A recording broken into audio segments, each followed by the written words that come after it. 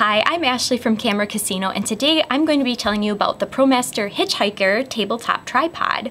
Now this is a very, very sturdy little tripod and comes with a ball head on the top and it also has a couple other features that not all tabletop tripods have.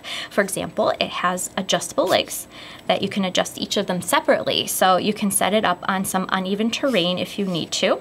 My, my favorite thing about this is that it's not only a tripod mount but it also has a fold-in smartphone holder, so you don't have to switch back and forth. It's built right in just like that. And they also put a little cold shoe on the top, so you can add a microphone or light if you need it. So this is great for traveling. It does fold into a handle here, so if you do a little bit of vlogging, it's very easy to hold. So uh, if you find yourself traveling or vlogging, this is something that you definitely need in your bag.